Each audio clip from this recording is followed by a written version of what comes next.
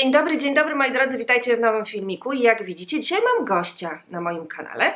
Jest ze mną Alicja, cześć. Cześć, witam Was wszystkich. Słuchajcie, jest powód, dlaczego dzisiaj jest ze mną Alicja. A to dlatego, że jakiś czas temu wpadłam na pewien pomysł.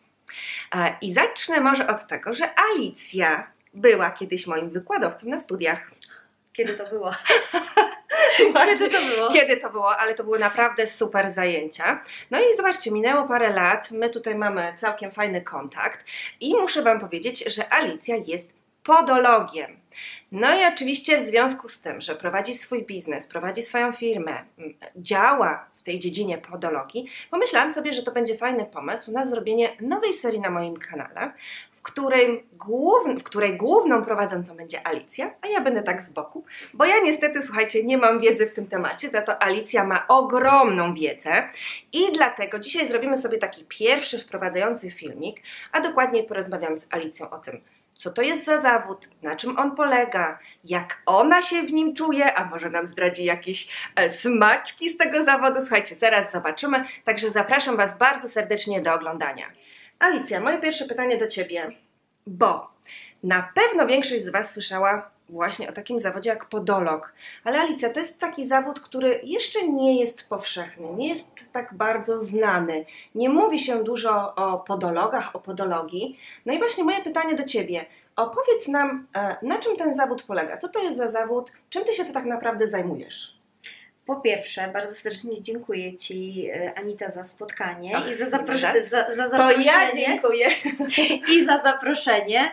E, bardzo chętnie podzielę się z Wami i z Tobą swoją wiedzą i przekażę Wam e, takie tajniki, smaczki podologii.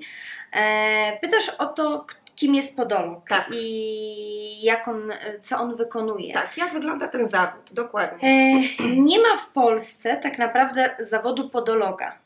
Mhm. Nie jest to prawnie uregulowane. Jest taka, taka specjalizacja jak podologia. E, można wykonywać masę szkoleń, które nas do tego doprowadzą, natomiast nie ma stricte zawodu tak jak kosmetolog czy kosmetyczka. Mhm. E, natomiast czym się zajmuję, wracając do No tematu? właśnie. Zajmuję się, jak to moi klienci mówią, stawianiem na nogi. Piękne. Tak, podolog stawia na nogi. Mhm. Podolog e, zajmuje się mm, szeroko pojętą pielęgnacją stóp. A, czyli słuchajcie, no można sobie skojarzyć właśnie podolog, tutaj stopy. Działasz Tak. po prostu w tej części naszego ciała. Tak. Dokładnie. E, opracowywaniem popękanych pięt, e, usuwaniem odcisków, modzeli, brodawek, terapią wrastających paznokci, która jest bardzo powszechna No u, i u młodszych, i u starszych osób. Em, rekonstrukcją, terapią grzybiczą. E, Współpracujemy z wieloma lekarzami, tak jak dermatolog, chirurg, ortopeda, fizjoterapeuta, więc jesteśmy bardziej po stronie medycznej Mhm. e, pedikiru, jeżeli można to nazwać, niż pod kątem takim No kosmetycznym. właśnie miałam Cię o to zapytać, bo słuchajcie, to nie jest tak, żebyście sobie nie kojarzyli podologa ze stylistą paznokci. Tak, tak, zdecydowanie. Dokładnie. Bo Znaczy, idziemy jed- stronę bardziej taką medyczną. Tak, zdecydowanie, bo wedle mm, światła takiego prawnego działamy paramedycznie, Mhm. Czyli nie jesteśmy stricte kosmetyczkami. E, I cała nasza terapia. Mm, u nas klienci wychodzą z naszych zabiegów, a tak naprawdę pacjenci wychodzą po naszych zabiegach czasami z jakimiś odciążeniami, a nie z pięknie pomalowanymi paznokciami. No właśnie, zakładacie na przykład klamry, jeśli chodzi o wrastające paznokcie. Tak, Czasami tam musicie coś wyciąć, usunąć brodawki i nie tylko, więc tak. e, no, musicie sobie po prostu zdać sprawę z tego, że podolog to jest osoba, która podchodzi medycznie do waszych stóp, Tak, leczniczo do waszych stóp, tak. a nie osoba, do której pójdziecie i zrobicie sobie hybrydę. Hybrydę. Na, no właśnie, hybrydę na paznokciach. No Tak. dobra, słuchajcie, lecimy z drugim pytaniem. No dobrze, Alicja, to teraz powiedz mi, jak długo pracujesz w zawodzie? Czy to jest e, zawód, w którym czujesz się spełniona i czy zawsze chciałaś to robić? Czy zawsze chciałam to robić? No. Nie. Nie, nie, nie, nie, nie. To nie był. Zawsze chciałam być kosmetyczką. Jako Właśnie- mała dziewczynka. Właśnie, no. Zawsze chciałam być kosmetyczką. Natomiast przyszedł taki moment w trakcie studiów, gdzie podczas praktyk, i to pamiętam do dzisiaj, e, sama nie wiedziałam, w którą stronę chcę pójść. bo kosmetyczka, która według mnie robi wszystko, jak ktoś jest dobry od wszystkiego, to jest dobry do niczego. Dokładnie. E, I nie mogłam znaleźć swojej takiej ścieżki, którą chciałabym ja podążać. I pamiętam, jak na, mm, na praktykach w gabinecie przyszła pani starsza e, i spytała się, czy ktoś miałby czas, żeby zrobić jej pedikir. E, moje koleżanki z gabinetu jakoś nie przypadały ze starszymi osobami, wolały młodsze panie, z którymi mogą porozmawiać o wszystkim. I mówię, dobrze, to ja pani wykonam. E, przyszła następnego dnia mm, i mówię, o jacie, no to będzie jakaś awantura. Że coś nie tak zrobiłam, że panią boli i tak dalej, i tak dalej. Jeszcze trafiła na szefową, więc mówię, będzie się działo.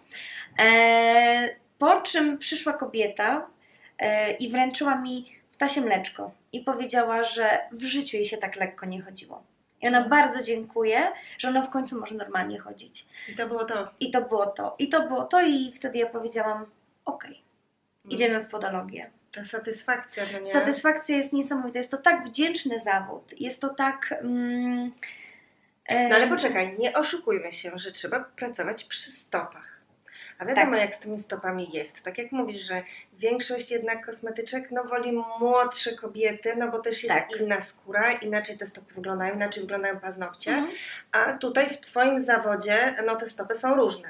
I na pewno masz do czynienia ze sportowcami, z mężczyznami, ze starszymi ludźmi. Tak. Więc to też jest taki zawód, który no właśnie trzeba czuć, trzeba lubić. Trzeba czuć. em, wiele osób czasem mówi, ale to jest obrzydzające. No. Jak można komuś, e, nie wiem, grzebać w stopach i e, przecież to one śmierdzą. E, Nie ma, naprawdę. Dla mnie, mnie to bardzo fascynuje. Mnie to bardzo fascynuje i coś, co jak klient wyjdzie i powie, że postawiłam go na nogi i on może przez miesiąc, 4-6 tygodni, on może chodzić swobodnie, jego nic nie boli, albo jego paznokcie w końcu inaczej wyglądają, bo jest po terapii klamrami, no to jest dla mnie tak satysfakcjonujące i tak dodające skrzydeł, że nie wyobrażam sobie na chwilę obecną pracować w czymś innym. Ale pytałaś mnie jeszcze, wracając do pytania, Mhm. e, pytałaś mnie jeszcze, jak długo pracuję w No zawodzie. właśnie. E, można powiedzieć, że podologia była ze mną już od, od studiów, e, czyli tak ponad 10 lat temu. Mhm. Były małe przerwy na pracę w przemyśle kosmetycznym, większym, mniejszym, gdzie też ta podologia gdzieś ze mną była. Natomiast po pewnym czasie stwierdziłam, był też, przepraszam bardzo, no przecież Studia! były też studia. Przecież jeszcze, uczu, przecież No tak. jeszcze, przecież jeszcze były wykładanie na, na uczelni, e, co dalej praktykuję, tylko O. prowadzę szkolenia podologiczne. E, I w pewnym momencie, próbując kilku, że tak powiem, różnych e, działów podologicznych e, i kosmetologicznych, stwierdziłam, nie. Wracam do pracy typowo z pacjentem, do pracy mm, z, w, w gabinecie, e, bo to mi sprawia największą satysfakcję. To jest coś, co jest niewyobrażalnie ciekawsze niż praca z studentami. Ja domyślam się. Nie, ze studentami też było cudownie i do dzisiaj to, do dzisiaj to bardzo mile wspominam. Natomiast e, to mi przynosi po prostu największą satysfakcję. Tak, no bo w życiu powinniśmy robić to, co nas satysfakcjonuje i mieć taką pracę, która sprawia nam przyjemność. Tak, to prawda. I ja mogę powiedzieć, że jestem szczęściarzem, że e, to, co robię, to kocham po prostu. A w ogóle słuchajcie, tak przy okazji, jak rozmawiamy o pracy Alicji, to chciałam Wam powiedzieć, że w opisie do dzisiejszego filmu znajdziecie namiary na Alicję, ponieważ ona dojeżdża, przyjeżdża, wykonuje zabiegi, dba o stopy. Tak jest. Więc jeśli będziecie z Warszawy lub też z okolic, to oczywiście kontakt do Alicji macie. Możecie dzwonić i się umawiać na wizytę. Gwarantuję Wam, że będziecie mieć perfekcyjne stopy. No dobra, Alicja, lecimy z kolejnym pytaniem. Tak. E, czy Twój zawód jest stresujący i czy wiąże się z bardzo dużą odpowiedzialnością? Wiesz co, Anita, wydaje mi się, że każda praca na skórze, e, na organizmie żywym Tak. jest, e, jest dosyć odpowiedzialna. E, Szczególnie, że my pracujemy nie tylko frezarką, Właśnie, czy pilniczkiem, czy tak, tak? my pracujemy z, ze skalpelem, pracujemy z dłutem, co czasem klientów przysparza o wielkie oczy, co my będziemy robić. E, natomiast to jest normalna kolej rzeczy i tak się pracuje po prostu podologicznie. Mhm. E, I wiąże się, wydaje mi się, że z bardzo dużą odpowiedzialnością. Natomiast wdzięczność klienta, pacjenta tak naprawdę e, jest, jest nie do opisania. Wynagradza tak na dobrą sprawę Tak. tą, tą pracę, którą wykonujecie, Tak. prawda? I wiąże się tak naprawdę z zaufaniem pacjenta do mnie, jak i mojego zaufania do pacjenta. Bo jeżeli zaczynamy jakąś terapię, e, chociażby wyrastających paznokci, czy popękanych pięt, czy mm, terapię przeciwgrzybiczą, to nie tylko moja praca tu jest ważna, ale praca też pacjenta, który w domu musi stosować odpowiednie preparaty Tak jest. e, z odpowiednią częstotliwością. Wiąże się to z częstszymi bądź dłuższymi przerwami w wizytach, z kontrolami. E, Więc to jest taka e, na budowanie. Współpraca. Tak, to jest bardzo duża i ścisła współpraca. Mhm. Bo jeżeli nie ma współpracy, to, to chociażbym cuda robiła, to, to, to nie przyniesie No, ale to jest efektów. trochę też tak jak w zawodzie kosmetologa, tak? Tak, Jeśli to chodzimy do kosmetologa, nie mówimy tutaj o kosmetyczce, bo do kosmetyczki chodzimy na zazwyczaj na zabiegi takie bardziej powiedzmy upiększające naszą Tak. skórę, ale jeśli chodzimy do kosmetologa czy do dermatologa, no to już chodzimy w kierunku jakichś problemów Tak, na przykład z. Tak. Tak, Tak, jasne, i wtedy musimy rzeczywiście, to musi być nasza współpraca. No super. Um, Alicja, ja się bardzo cieszę, że dzisiaj miałyśmy ten kontakt, mogłyśmy sobie tutaj porozmawiać. Em, powiem Wam, że pomysły na nowe filmiki, które będą się pojawiały, no jest dużo tych pomysłów. Na pewno poruszymy temat wrastających paznokci. Tak, bardzo Na pewno- popularny. Tak, myślę, że warto by było porozmawiać o tym w ogóle, jak zadbać o stopy w domu. Takie Tak. najprostsze rzeczy, które możemy wykonywać, ale robić to w sposób prawidłowy. I tutaj właśnie będzie wypowiedź podologa, czyli osoby, która wie, Tak. jak to robić, jak zadbać o to, czego na przykład w domu, słuchajcie, nie robić, a jakie błędy popełniamy, tak? Tak, Bo to jest tak bardzo częste zdarza. problemy. Wystarczy czasami kie- nakierować pacjenta na taką odpowiednią pielęgnację i to przynosi już niesamowite e, rezultaty, tak? Poza tym właśnie e, mówiłaś o tych e, pękających piętach, a Tak. to też jest taki temat, który bardzo często się pojawia, kiedy my kobiety w okresie letnim mamy na przykład założyć sobie klapeczki czy sandałki i te popękające pięty. Więc będziemy też o tym sobie tutaj rozmawiać. Także słuchajcie, zapowiada się naprawdę bardzo ciekawie. Dzisiaj taki temat wprowadzający. Alicja powiedziała Wam o tym, no jak wygląda ten jej zawód i jak naprawdę jest ciekawy. Alicja, tak przy okazji, taka mm, część, część, o której nie miałaś pojęcia niezapowiedziana. Czy mogłabyś zdradzić nam jedną taką ciekawą, ciekawą historię z Twojej pracy, która gdzieś tam, za, gdzieś tam masz z tyłu głowy i, i cały czas o niej pamiętasz? Jest coś takiego? Oczywiście. na pewno jest dużo. No to powiedz nam je, jedną taką, jedną ciekawą historię. E, to był mężczyzna, mm, tak, to był starszy pan, który potrzebował wielu wizyt żony, żeby się ze mną oswoić.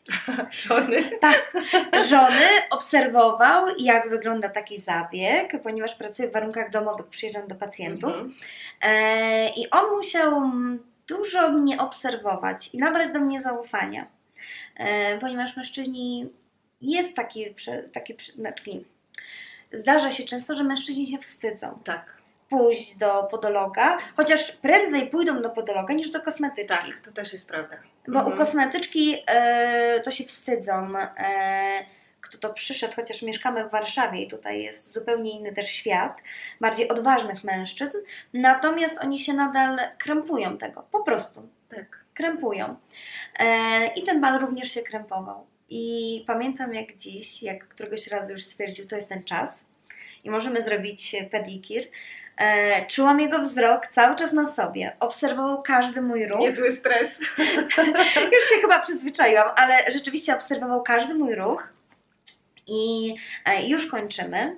E, Ja bardzo często korzystam z preparatów, e, z kremów w piance. Mhm.